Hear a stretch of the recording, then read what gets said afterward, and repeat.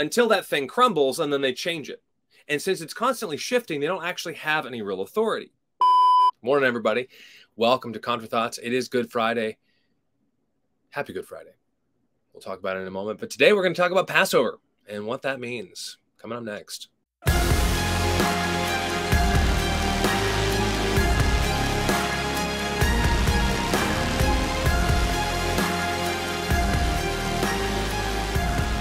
Right.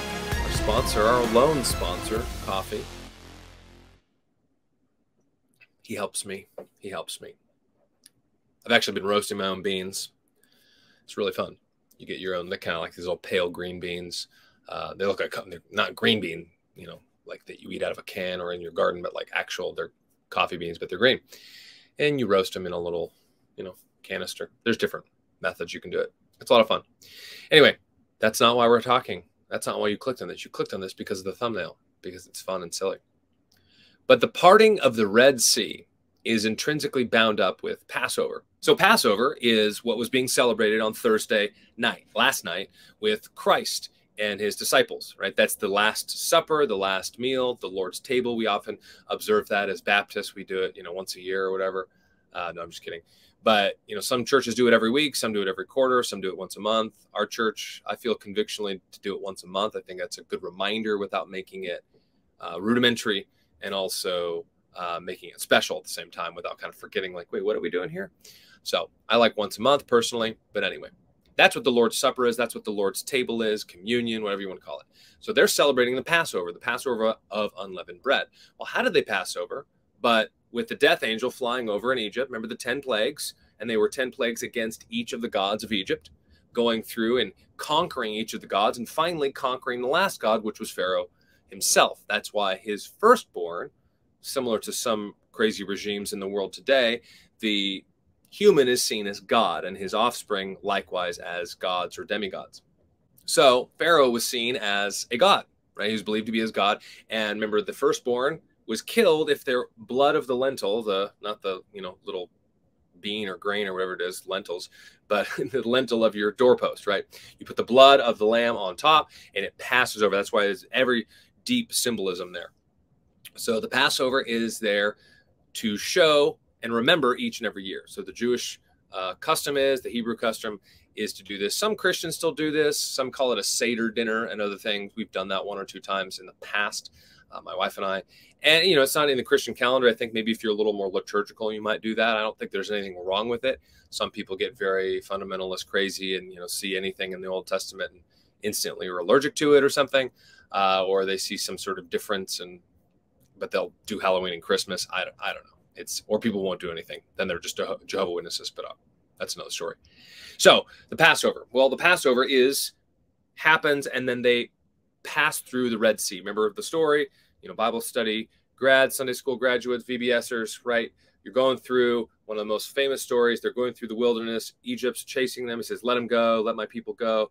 And then he's chasing them, and they go. The Red Sea. They're there, and they're, that's it. This isn't normal. And again, this is not normal at all for people to walk through um, a sea, a water, some something to happen, right? But just like the ten plagues weren't normal either. Now you might watch one of the newer movies and see all these things as just naturalistic undertakings, as just explanations of, you know, people, dumb people, so called, you know, the Hebrews being dumb, ancient people being dumb. This is the uh, assumption of modern man that they were stupid because modern man believes we were stupider and we're getting better, we're getting smarter, right? We're, we're ascending. We're actually really descending because Adam and Eve were created perfect, flawless, and they stumbled into sin. They fell and God cursed the ground. And so we're actually descending. We're going downward, not upward. And a lot of people think otherwise. And that's kind of the main mantra between materialistic evolution, uh, naturalism, and supernatural theism, in particular Christianity, biblical Orthodox Christianity. So I've got red lights behind me. Don't normally do red. I don't have a red shirt, so that's that's as good as I got. But the Red Sea, now, there's, of course, people want to explain this away. And I'll tell you why I think they want to explain it away. But we're going to look at an article from LA Times. That's not the article, that's Bible Hub. There it is. Article from LA Times, my hometown newspaper, such a conservative bastion of just, you know, straight laced ideas, commonsensical. I'm just kidding. March 14th, 1992. This is 30 years ago. I was a mere lad when this was written. And some of you, maybe not even born. Tell me if you were born before or rather after. Either way, 1992. Drop in in the comments. Tell me. So, this sophisticated computer calculations, I love it right off the bat. Sophisticated, not rudimentary or crude or, you know, unsophisticated. Sophisticated computer calculations indicate that the Bible, biblical parting of the Red Sea, said to have allowed Moses and the Israelites to escape from bondage in Egypt, could have occurred precisely as the Bible describes it. Well, go figure. Not because, though, God said so, not because God is powerful and he's the highest height and the deepest depths, and he's he's omniscient and omnipresent and he's all powerful, and yet he's near and close. No, no. Let's keep reading. Because a particular geographic of northern end of the Red Sea. Researchers report Sunday the Bulletin American Meteorology, more moderate wind blowing constantly for about 10 hours could have caused the sea to recede about a mile and the water level drop off 10 feet. Dry land area, many biblical scholars believe the crossing occurred. Okay. An abrupt change in the wind could have allowed the waters come crashing down. Phenomenon as the Bible inundated the Israelite pursuers. This explanation should not affect religious aspects of Exodus. Well, thanks, Nathan Par, Paul Paul of University of Rhode Island. Uh, okay, but here's the thing: what you should let it affect is your religious presuppositions about your beliefs, Mister Nathan, because this isn't a like religion and polity sort of you know stained glass closet pray over here and you know by myself and then real world no, no. The Bible deals with reality. The Bible is written by the author of reality. And so, because of that, we can trust it. We can look at history. We can look at many accounts that may not be fully explained yet, although a lot of the ones in the past weren't explained. And then, lo and behold, they find evidence, and here they are. But anyway, even if they're not explained, we're going to trust the word of God and not people because that's the option, right? as I said, I I'll look at it again at some point. But my very first episode of Contra Thoughts uh, last year, last March in 2021, was that it was the Bible is just man's opinion. And again, saying if the Bible is just man's opinion, well, we have man's opinion, or we have man's opinion. Right? It's not like there's some other like text that's like, no, no, no, the Bible isn't. You guys are all wrong. Actually, this book is God's word right? They're not contending for that. They're just saying, I don't like God's word because I don't want. Uh, you thought I was going to say it. No, I'll tell you in a second. We'll get there. So, so many, some may even find the proposed mechanism to be supportive of the argument. Oh, well, that's a relief. Thanks, Nathan. Thank you. Although few religious scholars or scientists were familiar with the report, okay, I don't really care. It's very plausible, they say. Oh, there's a little ad for something we don't need to buy. Israelite flight described in chapter 14 of Exodus. Yes, the Lord caused a sea to go back on a strong east wind all night and made the sea dry land. Look at that. They're quoting the Bible. At least they're doing that. That's good. They probably wouldn't do that today in 2022, but you never know. Most scholars agree the Israelites did not cross the Red Sea, but the Gulf of Suez. So here's again, here's the thing. We got first thing where they want to, oh, it shouldn't affect your religion. That's number one. But everybody's religious. Okay. Everybody. Everybody believes something about the past, about the present, and about the future. Everybody believes there either is a God or isn't a God. And then what that what to do with that God, or maybe multiple gods. But everybody is religious. The lie of neutrality, the lie of kind of this middle road is, oh, I'm not religious. I just I don't do that sort of thing. Of course you do. Of course you do. You believe you have authorities and you believe certain people over other people. You have truth claims and falsehoods and say, I believe this. I think if there's this, then this. And if not this, then not this, right? I believe, hey, when I die, I'm just going back to the dirt. Or when I die, I get to go to the big party in the sky. Or when I die, I'm going to hell, but it's going to be with all my buddies and devil, you know, the devil will be my homeboy or whatever. Or I get 70 virgins, or I do this, or I'm going to get my own planet You believe something about, even if you're the most secular person, you're still religious. It's your own religion. Just because it's disorganized doesn't mean it's not religious. I love the joke of, I don't like organized religion. It's like, oh, you like disorganized religion. That's fair. So, who is on sabbatical? I don't care about that. Uh, oh, Hebrew University. Oh, he's so he's from Hebrew University. Okay, maybe we do care about that slightly. Uh, so he's at Rhode Island. Of course, it's 30 years ago, so not now. From Hebrew University in Jerusalem, pretty reputable school, but it's not like it's going to be filled with followers of Christ or even followers of Moses and the Torah. But anyway, it gets kind of boring here. Also important note, see accommodate the water, the Gulf, blah, blah, blah. You can go read the whole thing. I'll put it in the description. Their calculations show the steady northeast wind, 40 to 45 miles an hour, 10 hour period, right? So it does say the wind blows all night long. And they have these sophisticated computer calculations. But, oh, I had my first point and then I forgot my second point. All right. So it's sabbatical. The problem consists of a simple physics physical laws, which are very well known, a very complicated set of equations that describe what happens to water when the wind acts on it. So again, I want you to just go read this article if you're interested, uh, or at least look at you know look at it and see their explanations. And we'll talk about a little bit more in a moment what their explanations really are showing. The wind can lift a lot of water, like blowing across the top of a cup of coffee cup of coffee. Okay. Coffee blows from what? Coffee blows. Okay. All right. Yeah, yeah, yeah. Such a phenomenon will not completely explain the biblical passage. Yeah, go figure. Which says the Israelites had water on both sides of them when they were made the crossing. Exactly. Exactly.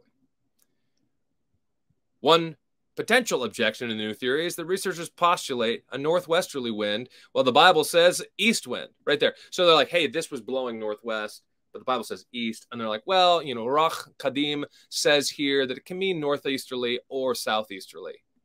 But the but you're still saying it's west. and then they just keep going. Okay, thanks, guys or author of this article. Other researchers have previously suggested blah, blah, blah, Red Sea might be caused by tsunami. They debunked that right there.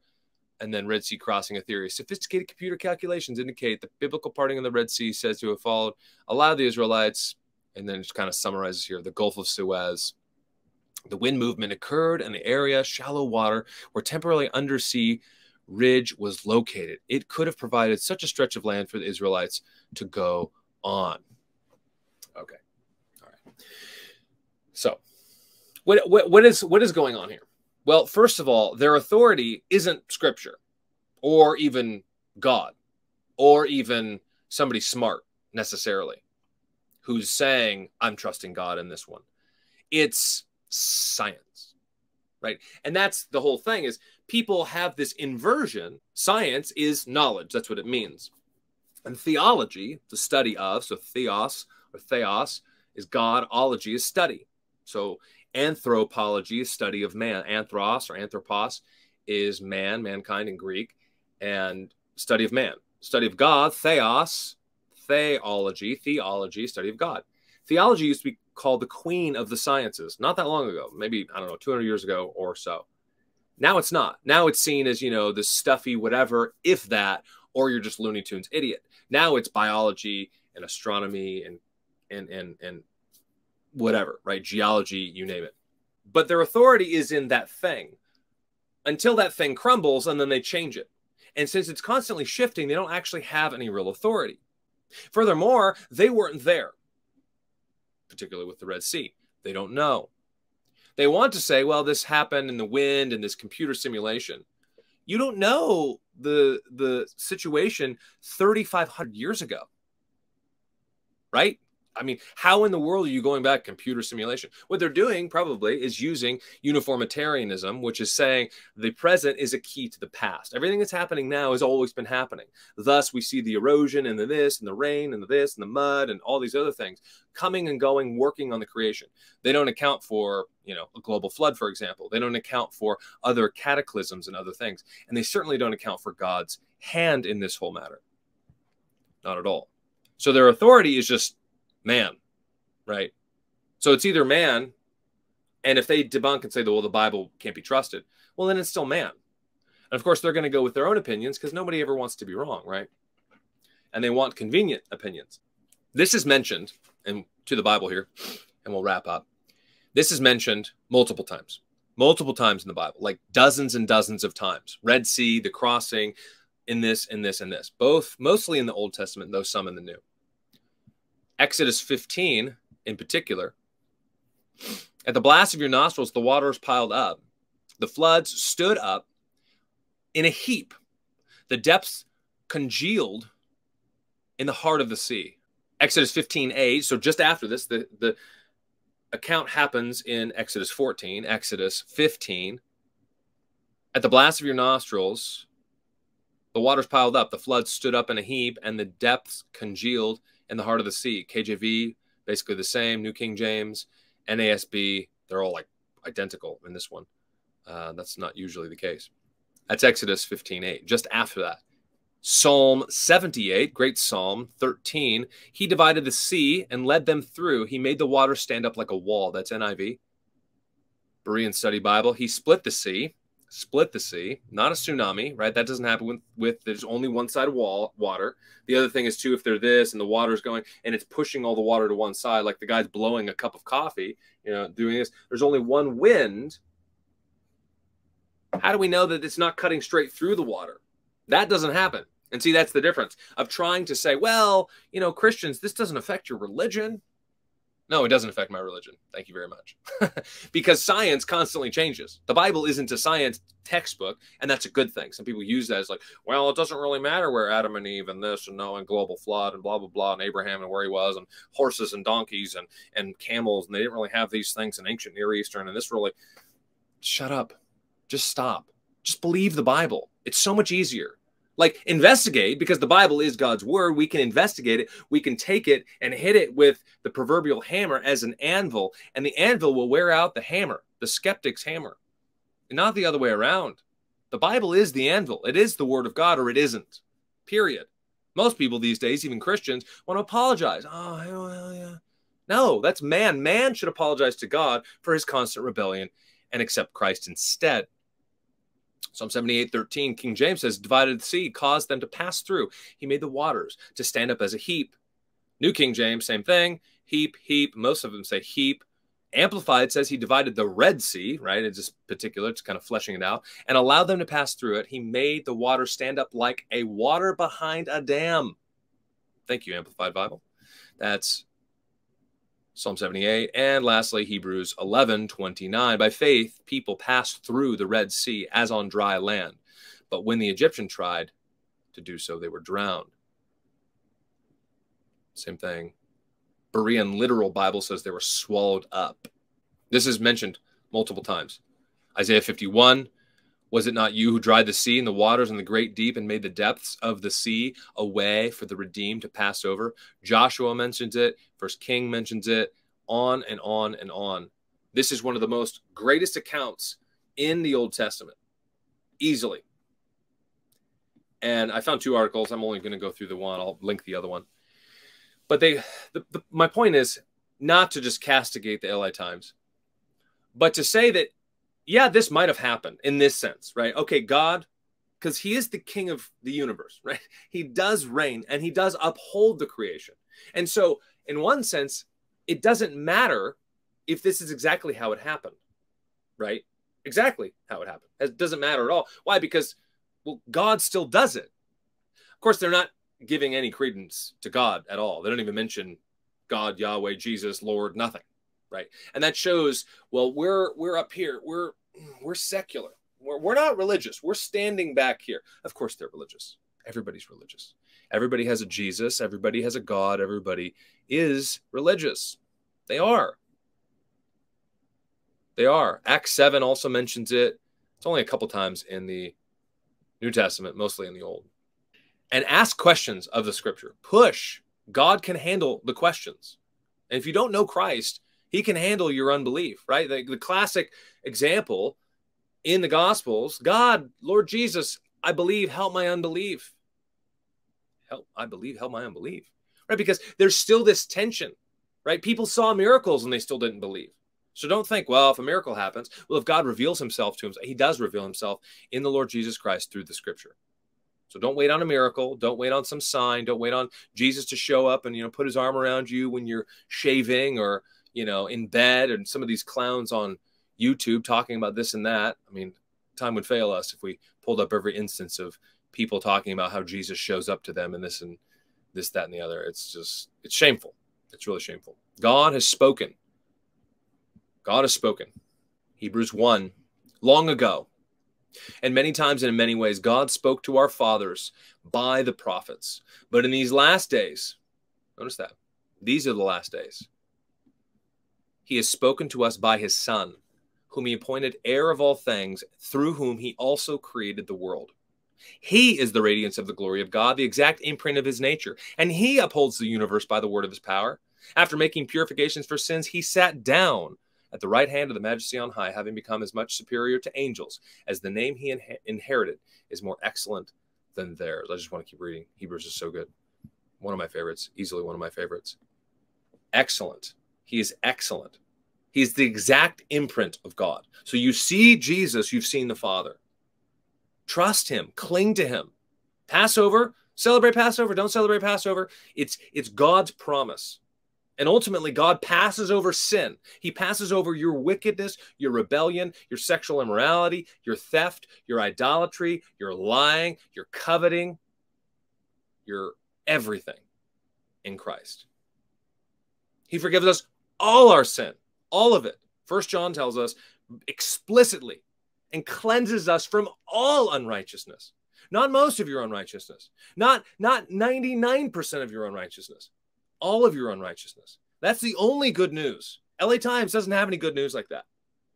No newspaper does. No college, seminary, whatever has that in and of itself. The Lord Jesus came into the world to seek and to save the lost, to save sinners. But only broken and contrite people who see their own wicked heart and turn to Him. Prepare your heart for Resurrection Day. It's two days away. Jesus is in the tomb at this moment. Of course, in the scripture on Friday. Of course, we know he's already resur- already resurrected. But we're celebrating. This is why we worship on Sunday, not because it's the first day of the week or because of anything else or because it's the Sabbath. Saturday's the Sabbath, not Sunday. We worship as Christians, as followers of Christ, because he rose on Sunday. He was crucified on Friday, today, celebrated the Passover last night and he will raise two days now. And everyone who trusts in him will also have newness of life, both here and in eternity. Be against the world, for the world. I hope you found this helpful. Take care.